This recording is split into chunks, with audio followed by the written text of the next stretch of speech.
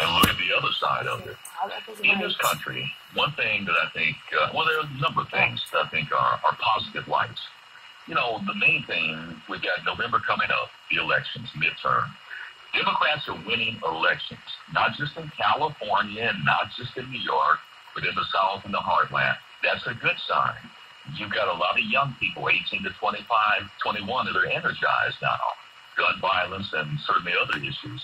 A lot of them registered to vote. And a lot of them, of course, are going to vote in the, in the, the midterms. And then you've got a Democratic Party that finally seems to get it. Uh, I don't see them on TV routinely like we used to see. I see them out there.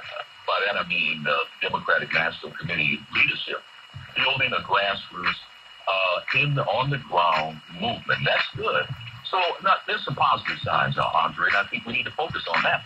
Absolutely, absolutely. Folks, democracy in Germany was undone by Adolf Hitler. Don't let it happen here. 877-532-5797. Again, 877-532-5797.